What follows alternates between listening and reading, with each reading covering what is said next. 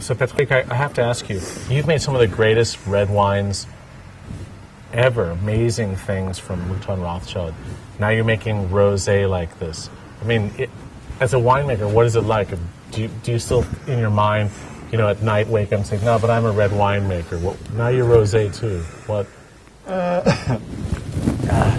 You know, I think that's uh, quality, image. Uh, it's not depending only on the on the color. It's depending on the wine itself. Uh, so as you know, you can have a great wine, not only in Bordeaux, in some other places. And I think that for the color it's the same. Uh, we were lucky to uh, to try to, uh, to to to to push the rosé in the category of really wine. That was our goal. But as a rosé winemaker, uh, what is new for me, it's, it's, uh, it's uh, to make a great wine pink. But before, before I was working uh, in Pauillac and I was making rosé before with, with the father of Sacha. And Alexis. some of the first A lot of I was making rosé in Anjou, a lot.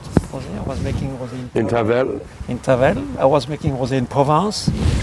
Your first, some of your first wines were rosés, Was no? Rosé. Yeah. Yeah. Oh, okay, I didn't realize. He, I was ma- I was making rosé not far from here. So in the end, great wine can be pink. Yes. Great wine now can be pink. and uh, yeah, we know so.